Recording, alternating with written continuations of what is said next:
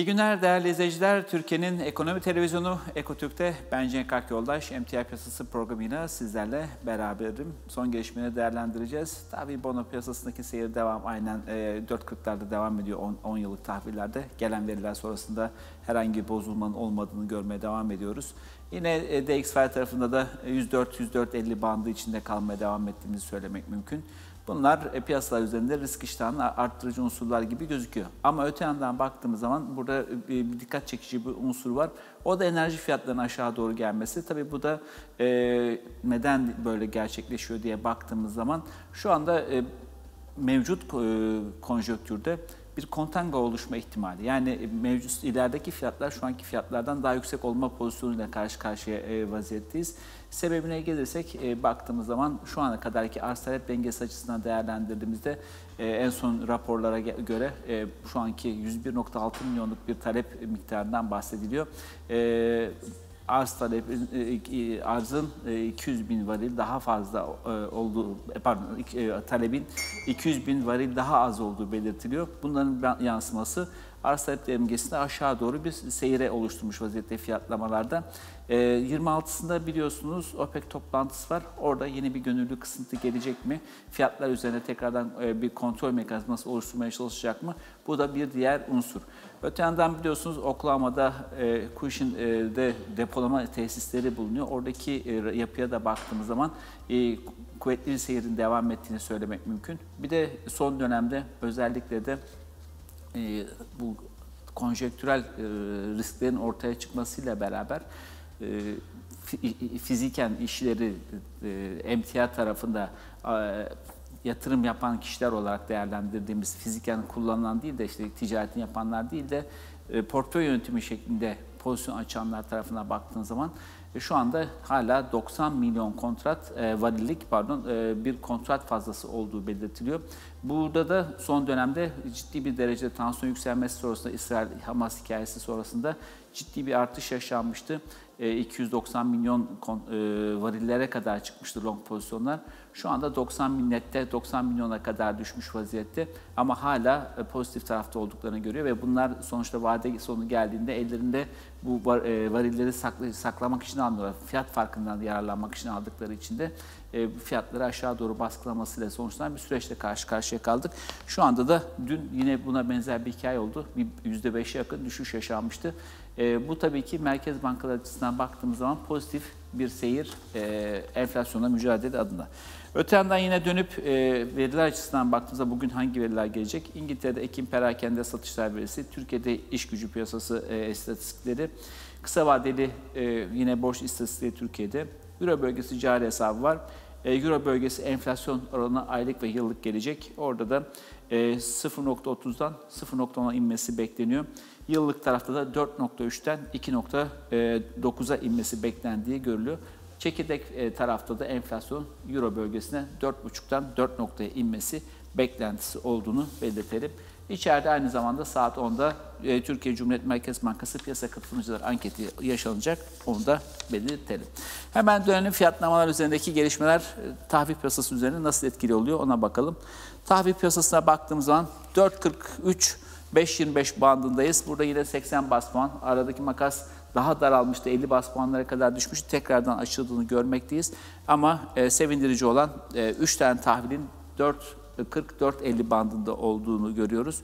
İki tahvilin 4.60'larda, iki tahvilin de 4.80'lerde olduğunu söylemek mümkün. 10 yıllık tahvilin üzerine döndüğümüz zaman orta tarafta da haftanın artık sonuna doğru geliyoruz. E, kanalın alt bacağına geldik, dayandık. 4.45'ler önemli bir eşik. Burada tutunmaya çalışıyor. E, burada bir dengelenme söz konusu olabilir. Fibolar arasında e, Fibo yukarıda, aşağıda trend çizgisi bu aralığın içine e, girmiş vaziyette olduğumuzu belirtelim. E, buradaki seyre baktığımız zaman da dikkat çekici unsur yukarıda 4.53-54 artık e, bir destek noktası konumuna geçmiş vaziyette. E, aşağıda da 4.45'ler ilk direnç noktası. Eğer burası kırılır ise bu direnç aşağıda 4.36-4.37'ye doğru bir sarkma yaşanabilir. Burada direnç diyorum çünkü burada ter, e, arz talep dengesi ters çalışıyor.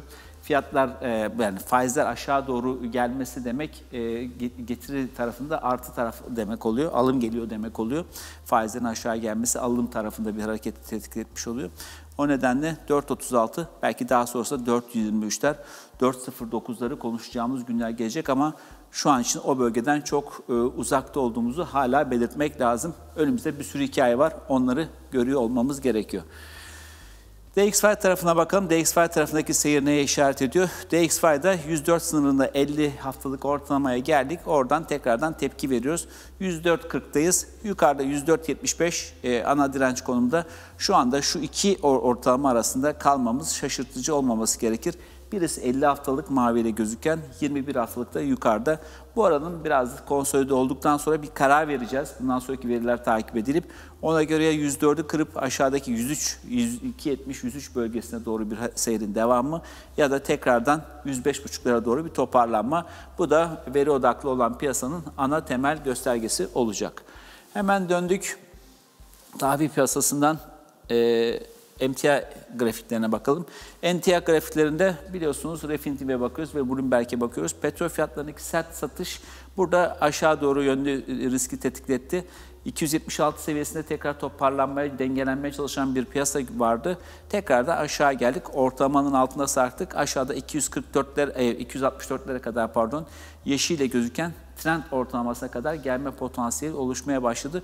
Bu da merkez bankaları adına yine enflasyon tarafında e, bir baskı unsuru olmama potansiyeli içermekte. Bu da sevindirici gelişme faiz arttırımlarının e, önüne geçebilecek bir unsur olarak karşımızda. Yine uzun vade adına baktığımız zaman Bloomberg'in çekirdek emtiyazı tarafında da e, burada da biz 130-140'lardan gelmiştik. Şu anda 101-70'lerdeyiz. Burada aşağıda 104-105-85 arası bant bölgesiydi. Bu bantın aşağısına tekrar kırdık. Son dönemde baktığımız zaman buna benzer bir hikaye Eylül ayında da yaşamıştık. Tekrar buna benzer bir süreç içine girmiş gibi gözüküyoruz. Aşağıda temel destek 99.5'da olduğunu belirtelim. Oraya kadar süreç devam edebilir. Petroldeki baskının devam etmesi halinde. Altın tarafına dönelim. Altın tarafında günlük grafiğe bakarsak Altında dün e, bir karar noktalarından birinde olduğumuzu belirtiyorduk. Üçüncü gün, önemli gün diyorduk hatırlarsanız. E, morun üzerinde kaldığımız sürece 1972 denemeleri başarılı olup olmayacağını bağlı. Başarılı olunca sert bir şekilde kendisini 1980'ler bölgesine taşıdı. 1982-83 e, bölgesi yataydan gelen bir direnç bölgesi konumunda bir seviye. Orada geldik şu anda onu, o seviyenin üzerinde tutunmaya çalışıyoruz. Yukarıda e, baktığımız zaman 1999-2000 seviyesi e, bundan sonraki bir diğer eşiğimiz olarak karşımıza çıkması beklenir. Geri çekilmelerde artık 1972-73 bölgesinin destek olarak çalışması beklenmeli. Hemen döndük haftalık bazda grafiğe bakalım. Haftalık bazdaki grafikte de hatırlarsanız 1933-1971 aralığındaydık. E, bu aralıktan tekrardan bir üst banda çıktık. Bu üst bandın üst sınırı da 2009'da olduğunu görüyoruz. 1971-2010 hareketi arasına dokumaya başlayabiliriz. Bu haftanın bugünün kapanışı 1971'in üzerinde olması halinde bir 2000 denemesi daha gelme potansiyeli söz konusu olacaktır. Genellikle bu düzeltme hareketlerinden sonraki süreç daha önceki bir, iki, üç kez biz ne yapmışız? E, 2070 seviyesini test etmişiz. Üçünde de bakarsak bir düzeltme hareketi sonrasında tekrardan e, mesela burada hareket tetiklenmiş, geri gelmiş, yukarı doğru gitmiş. E, buna benzer bir senaryo tetiklenecek mi? Ortalamalar bölgesinden desteği aldıktan sonra hareket yukarı doğru ya, ak akabilecek mi? Buna bakacağız. Kritik eşimiz 2010 olduğunu belirtelim. Eğer 2010 aşılabiliyorsa o zaman 2050-2071 bandının test edilmesi gündeme gelebilir. Hemen haftalık bazdan e, aylık bazı grafiğe geçersek, aylık bazda da bizim için hep belirtiyoruz 1982 önemli eşimiz. E, tekrardan o bölgenin üzerine attık. Farkındasınız 1982 üzerinde ay olarak geçirdiğimiz zaman dilimi 1, 2, 3, 4, 5, 6 ya da 7 ay son e, ne zamandan beri? 2020'den beri. E, o bölgenin üzerine geldiğimiz zaman bir e, stres başlıyor. Kalıcılık için e, eğer burada aylık kapanışlar bu seviyenin üzerine gerçekleşmeye başlıyorsa bir şeyler değişmeye başlıyor. Yeni bir paternin açılması, yukarıdaki 2300-350 bandının açılabilmesi için de 2070 bölgesinin aşılması şart haftalık kapanış adına ya da aylık kapanış adına özür dilerim. Hemen döndük gümüş tarafına bakalım. Gümüşte bir düşen trendimiz var.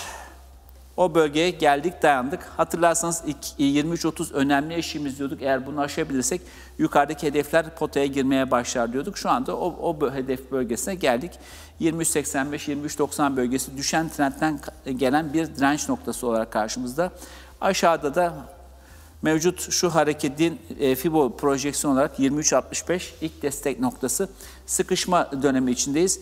Eğer bu seviyeyi aşabilirsek 23.85-23.90 bölgesini aşabilirsek yukarıda 24.75 hedef noktası konumunda. Haftalık grafik açısından baktığımız zaman da ciddi bir dalgalanma geçiren bir hafta oldu. Bar boyu çok kuvvetli. 23.16 üzerine atınca fiyatlamalar hızlandı. 23.85 e, büyük Fibo'nun ana direnç noktası. Bu bölgenin üzerine çıkabilirsek haftanın kapanışı önümüzdeki haftadan itibaren tekrardan 23.85-24.60 bandı içine girme potansiyeli başlar. O zaman e, belki 25-30'ları bile konuşmamız gereken günlere gidebiliriz. E, bunun oluşması demek zaten altın tarafında da 2000 dolarların üzerine bir fiyatlama görüyoruz demek olacaktır. Bakalım bu seyir gerçekleşebilecek mi? Ortalamaların üzerine çıkabildik hemen belirtelim. Petrol tarafına dönelim. Petrol tarafında da çünkü önemli düşüşler var. E, hatırlarsanız ortalamalar 8 günlük ortalama bizim için ana direnç noktası o bölgenin üzerine kalmamız lazım. Kalamıyorsak e, trend kanalının alt bacağı bizi taşıyacak mı, şu bölgeyi dolduracak mıyız derken bir anda buradaki trend çizgisi de kırıldı. Aşağıdaki 68.79'da bulunan Fibo hedefine doğru gitme çabası içine girdi. Bakalım 26'sına kadar geçecek sürede o bölgeye kadar inmeyi başarabilecek miyiz? Çünkü 26'sında OPEC toplantısı var. Oradan çıkabilecek haberler buradaki seyri değiştirme yönünde adım atmak isteyecektir. Son olarak Brent'e de bakalım. Brent'te de 79 dolar üzerinde tutunma çabası vardı. O da dün itibariyle %5'lik kırılmaya seviyet verdi. E, demin baş, e, e, program başında anlatmıştım sebeplerini. Bu sebepler baki. Şu anda baktığımız zaman aşağıda 70 dolar Fibonacci hedefi olarak karşımızda olduğunu belirtelim. Aynı zamanda daha önceki dip seviyede olduğunu görüyoruz. Efendim bugünlük de biz ayrılan sürenin sonuna geldik. Bir başka yayında tekrar görüşmek üzere. Hoşçakalın.